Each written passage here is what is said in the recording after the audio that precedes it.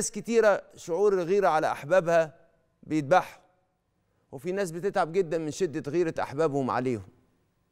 هنا بقى بنتكلم عن الغيرة مش عن الشك. الغيرة اللي هي الشعور بالضيق أو بالقلق من مشاركة الآخرين لينا في أحبابنا. هل ممكن يكون مشهد الغيرة باب من أبواب الوصال للطرفين؟ الغيرة بلا شك باب من أبواب الوصال. لما يفهم الإنسان نفسية الشخص اللي بيغير الغيور. ليه طيب؟ لأن في قلوب كتيرة حوالينا بتزيد جواهم الغيرة عشان عندهم خوف زائد من التخلي أو الهجر. جواهم حساسية شديدة تجاه أي تصرف من أحبابهم يحسوا إن هم احتمال كبير يهجروهم أو يتخلوا عنه أو حتى يبعدوا عنهم مسافة. ولذلك تتحول الغيرة لباب وصال لما تستخدم مفتاح من مفاتيح الشخص. هو إنك محتاج بشكل مستمر إنك تطمنه من وقت للتاني إنك متمسك بيه. إنك تبين ليه من وقت للتاني هو قد إيه أولوية من أولويات حياتك. ساعتها هيحس بإيه؟ بالدنيا وما فيها. شوف حضرة النبي صلى الله عليه وسلم إزاي كان بيدير قلب السيدة عائشة شديدة الغيرة عليه. لدرجة إن مرة غارت من طبق السيدة حفصة فكسرته. فإزاي حضرة النبي كان بيطمنها؟ فلما سألوه من احب طبعا الناس بتشوف إن ده أمر معياري إن رسول الله كان بيقول مجرد خبر ما عارف إن الخبر هيوصل للسيدة عائشة. فسألوه من أحب الناس إليك؟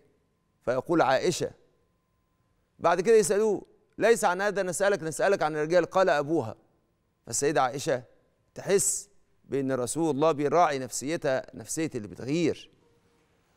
وكان من كثرة كرم حضرة النبي صلى الله عليه وسلم في الاهتمام والعناية بأحبابه كان الواحد فيهم يظن إنه أغلى حد على قلب رسول الله بأبي وأمي صلى الله عليه وسلم. فالواحد لما بيطمن على بيطمن إن حبيبه على مكانته في قلبه وما بيتغيرش وإنه مش هيقارنه بحد تاني ولا هيتخلى عنه يهدى ويطيب قلبه. وتقوى العلاقة بينه وبين حبيبه. شوف حضرة النبي صلى الله عليه وسلم كانت السيدة عائشة يقول يقول للسيدة عائشة كده مثل حبك في قلبي يا عائشة كمثل العقدة. السيدة عائشة من وقت للتاني تسأل بقى شوف حضرة النبي قال لها كمثل العقدة. بيطمنها.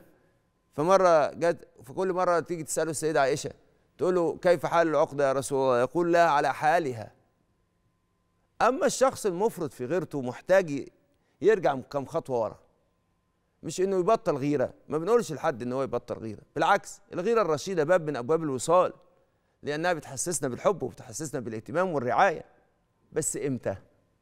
لما نمارس الغيرة برشد وبفن في فن اسمه فن الغيرة وإحنا اتكلمنا قبل كده عنه.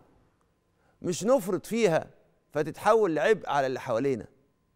المشهد الثاني هو مشهد الإحساس بالرتابة اللي نحصل بشعور بالملل. من المشاعر اللي بتتخلل حياتنا.